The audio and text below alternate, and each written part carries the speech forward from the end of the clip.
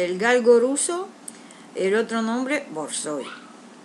Es uno de los galgos más grandes que hay en el mundo.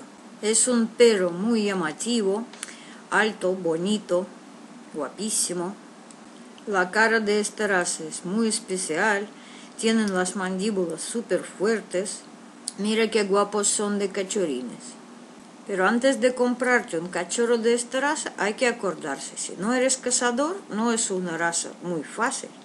Están creados para cazar lobos y verdaderamente lo cazan y lo cargan, así de fácil.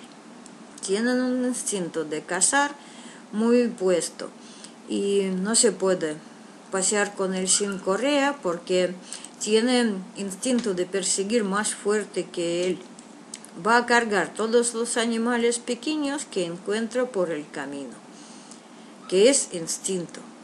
Con animales grandes lo lleva súper bien y con otros perros grandes también. En casa es un perro muy limpio y muy tranquilo.